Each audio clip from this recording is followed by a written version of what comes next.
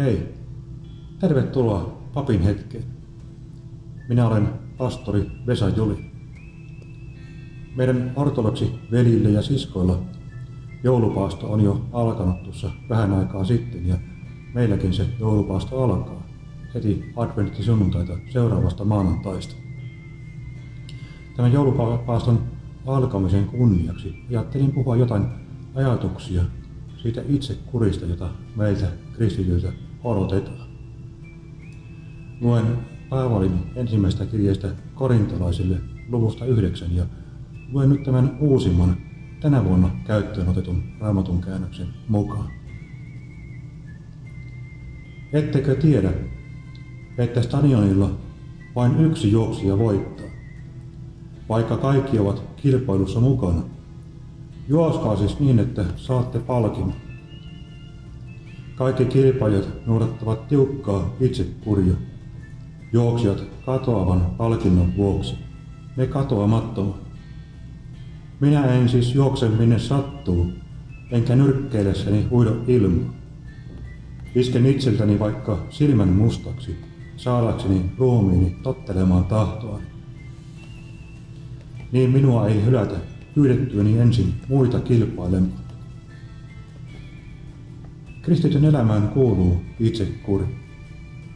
Paavali johdattaa kuulijansa aiheeseen ottamalla esimerkiksi urheilukisan, joiden kanssa hän ei kai itse juutalaisena ollut missään tekemisissä. Tunnetummat kisat tuohon aikaan oli joka neljäs vuosi pidetyt Olympian kisat sekä Korinton lähellä joka toinen vuosi Jumala Poseidonin kunniaksi järjestettävät Ismoksen kisat. Kirjeen vastaanottajat tunsivat siis nämä kisat hyvin ja olivat varmaan itsekin aina katsomassa seuraamassa näitä kisoja. Siksi Paavali pystyi käyttämään tätä kilpailuteemaa. Paavalihan on kaikille kaikkea, ja nyt hän on korintolaisille korintolainen, kuten hän itse sanoo, pelastaakseen edes muutamia. Nykyään urheilussa ammattilaistasolla annetaan joskus rahapalkintoja, mutta suurin osa palkinnoista on suhteellisen arvottomia metallilätkiä, mitalleja tai halvasta metallista tai muovista tehtyjä vokaaleja. Paavalin aikana Olympian kisoissa voittaja sai palkinnoksi laakeri seppeleen. Istmongsen kisoissa voittaja sai lähteestä riippuen joko kuusen tai männyn havuista tehdyn seppeleen. Sellaisen suhteellisen arvottoman palkinnon saadakseen urheilijat olivat valmiita harjoittelemaan paljon. Näissä kisoissa muuten annettiin palkinto vain voittajalle. Vain yksi palkittiin katoavalla seppeleillä ja yhtä katoavalla kunnialla. Paavalin opetuksen pointti ei kuitenkaan ole tuossa kilpailun voittamisessa, jonka kunnia tuli tosiaan vain yhden kilpailijan osaksi. Raamatussa kun voittijaksi sanotaan jokaista, joka on kestänyt loppuun asti ja päässyt perille. Hän johdattaa tällä vertauksella korintolaiset ajattelemaan sitä itse kuria, jota nämä kilpailijat noudattivat saavuttaakseen jotain katoavaista.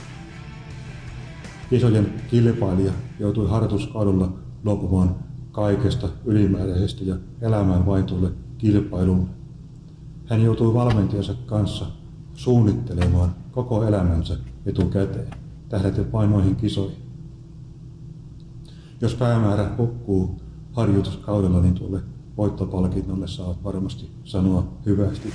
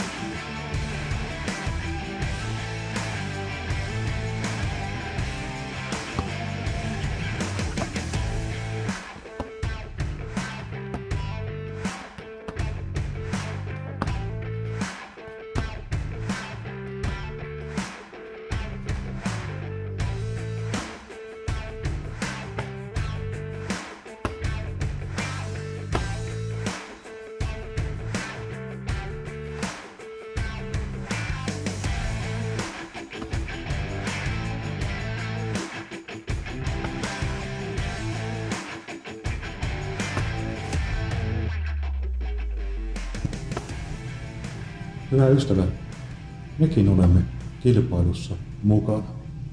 Ja perille pääseminen tässä kisassa on iso asia. Sillä kaikki, joiden juoksu lopulta hyväksytään, saavat enemmän kuin mitalin, pokaalin tai minkään rahapalkinnon. He saavat lakastumattomaksi seppeleeksi ikuisen elämän. Paavali kehottaa lukijoita ottamaan itsestään esimerkkiä. Hän ei juokse päämäärättömästi ompimähkään, eikä nyrkkeillessään huido ilmaa. Tuohon aikaan ei kilpailtu vain juoksuradoilla, vaan moniottelun yksi varsin vaativa laji oli nyrkkeily. Paavali käyttää tätä esimerkkiä kuvaamaan sitä määrätietoista asennetta, joka kristityltä vaaditaan perille pääsemiseksi. Tuohon aikaan kilpailijat eivät käyttäneet mitään muuta suojaa kuin nahkaista rystyssuojaa. Muutenkin säännöt tekivät tuosta lajista varsin raakalaismaisen. Ottelut käytiin ilman painoluokkia ja ne kestivät ilman eriä ja taukoja niin pitkään kunnes heikompi osapuoli joko luovutti tai tyrmättiin. No tietenkään nyrkkeily ei taaskaan sovi suoraan allegoriaksi kristityn vaellukseen, mutta antaa esimerkin siitä, millaista kristityn kirvoittelemisen tulee olla. Kristityn vastustaja on yllättäen omaa ruumista ja apostoli puhuu iskien kohdistamisesta siihen. Ihmisruumiin yksi arimpia kohtia on silmän seutu, ja Paavalin käyttämä typopia tsein merkitsee iskeä silmän alta. Seurauksena silmäkulma repeää, silmä menee mustaksi ja turpaa umpeen. Tarkoitus ei ole tietenkään sokaista vain noulakogein, alistaa orjuuteen. Näin Paavali pakottaa vastahakoisen ruumiinsa vertauskuvallisesti vaikka silmä mustana tekemään sitä, mitä hänen oma järkensä ja pyhä henki yhdessä osoittavat kutsumustyöhön kuuluvaksi. Ruoskimiset, vankeus, kivittäminen ja muut vaikeudet olivat yrittäneet saada Paavalia luovuttamaan. Mutta oman hengen antamat iskut silmän alle ovat vielä tehokkaammin pakottaneet hänet kutsumukseen ja kaikkeen mitä siihen liittyy, jatkamaan evankeliumin työtä. Paavali tuo esille sen tuskallisen tosiasian, että hyvin alkanut kristityn vaellus voi johtaa ikuiseen vahinkoon. Siksi hän pyrkii näin masentamaan omaa tahtoa. Meidän on kovin helppo jättää hommat kesken ja ajautua takaisin sellaisen elämään ja sellaisiin valintoihin, joita tässä maailmassa noudatetaan.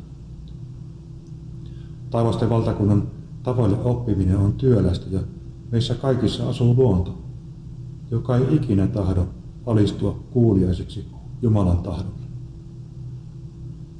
Joskus kuulee sanottavan, että ihmisen pitäisi kuunnella omaa sydäntään, mutta tämä on varsin huono ohje. Paavalin mukaan luonnollista ihmistä ei tule helliä, vaan sitä on kuritettava, vaikka vertauskuvallisesti lyömällä silmät mustaksi. Yksi perinteisimmistä kristikunnan keinoista tällaisen oman ruumiin masentamiseen on paasto. Alkokirkossa paastaminen oli itsestään selvä ja erityisesti paasattiin silloin, kun piti tehdä joku merkittävä päätös tai kysyä Jumalan tahtoa jossain asiassa. Mepos, allois, keryksas, autos, adokimos ja nomai. Jotta minä, joka olen toisille kuuluttanut, ehkä itse joutuisi hylätyksi. Keryissä merkitsee kisoissa kuuluttamista, evankeliumin julistamista tai vaikkapa kirkossa saarnaamista. Adokimos merkitsee kokeessa hylättyä. Se voisi nykykielessä merkitä vaikkapa sanaa kuin tämmöinen sana kärähtänyt. Se olisikin noloa, joka on itse ensin julistanut mei muille ja tulee sitten itse hylätyksi. Apostolin on oltava siis tarkkana. Mutta ei seurakuntalaisenkaan kannata olla ihan huolettoman itse varma. Kilvoitelkaa siksi hyvä uskon kilvoitus. Juoskaa siis niin, että te saatte palkinnon. Ja tarttukaa. Tarrautukaa kiinni iankaikkiseen elämään, jonka Jeesus Kristus on meille valmistanut.